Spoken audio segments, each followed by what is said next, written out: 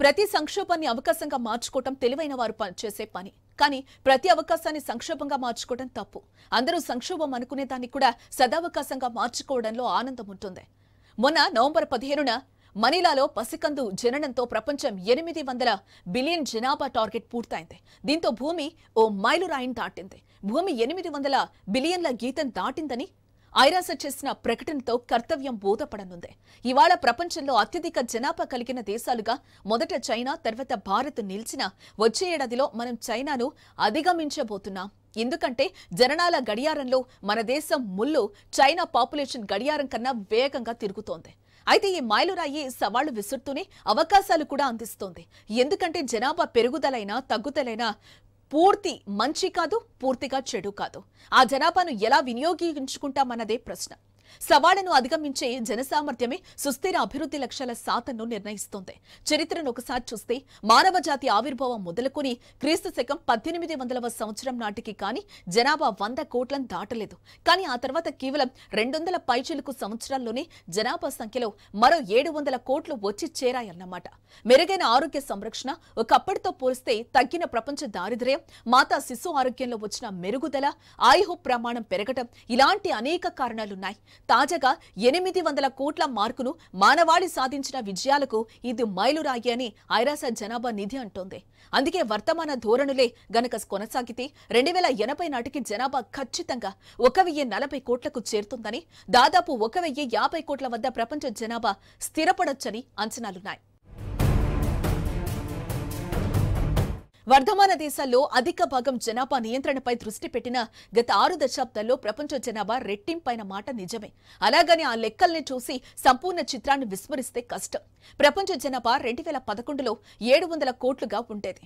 ఆ పైన పట్టుమని పన్నెండేళ్ళకే మరో వంద కోట్లు పెరిగి ఇప్పుడు ఎనిమిది వందల కోట్లకు చేరింది. అయితే ఈ సంఖ్య తొమ్మిది వందల కోట్లు అవడానికి కాస్త ఎక్కువ సమయమే పట్టనుందనంటున్నారు నిపుణులు. మరో పద్నాలుగున్నరేళ్ళకు అంటే రెండు వేల ముప్పై ఏడు నాటికి గాని అక్కడకు తట్టుకోమని అంచనా. జనాభా రేటు పెరుగుతున్నది నిజమే కానీ ఆ పెరుగుదల వేగం తగ్గుతోందని అర్థం చేసుకోవాలి. పంతొమ్మిది వందల యాభైతో పోలిస్తే ఇప్పుడు జనాభా పెరుగుదల చాలా నిదానించి జరుగుతోంది. రెండు వేల ఇరవైలో ఒక శాతం కన్నా తక్కువకు పడిపోయిందని ఐరాస జనాభా నివేదిక వెల్లడించింది. ఒక్క మాటలో చెప్పాలంటే నిదానంగానైనా జనాభా తగ్గుదల మార్గంలోనే ప్రయాణిస్తున్నాం. ప్రపంచ వ్యాప్తంగా తగ్గుతున్న సంతాన సాఫల్య రేటు ఇందుకు నిదర్శనం.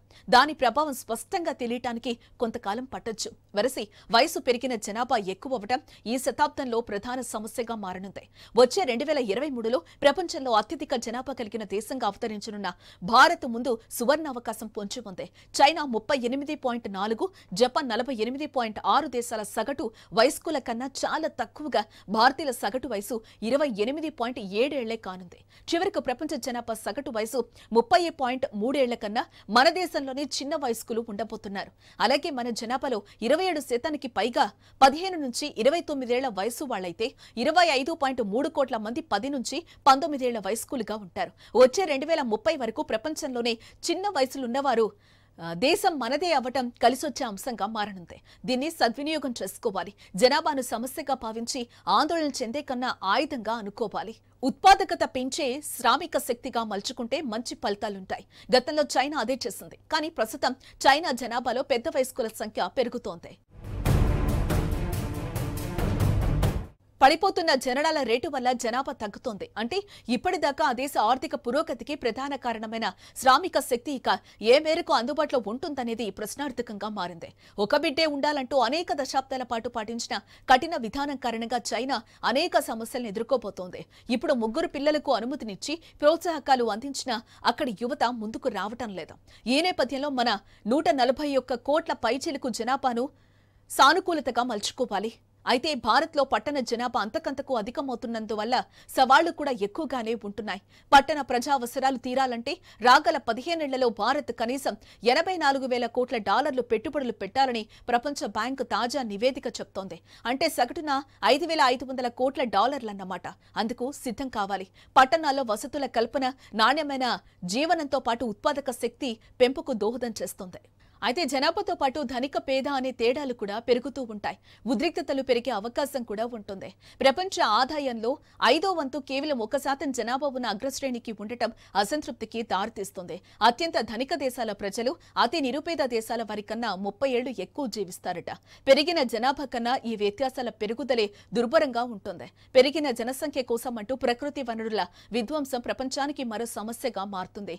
అడవుల నరికివేత భూగర్భ జలాల దుర్వినియోగం రైతుల కాలుష్యాలు వాతావరణ మార్పుపై అశ్రద్ధ లాంటివి అరికట్టాలి. ఎనిమిది వందల కోట్ల మంది కలిసి బతుకుతూ ఈ భూమిని రాబోయే ముందు తరాలకు ఆవాస యోగ్యత కలిగి ఉండి చూడటం మన కర్తవ్యంగా చూడాలి.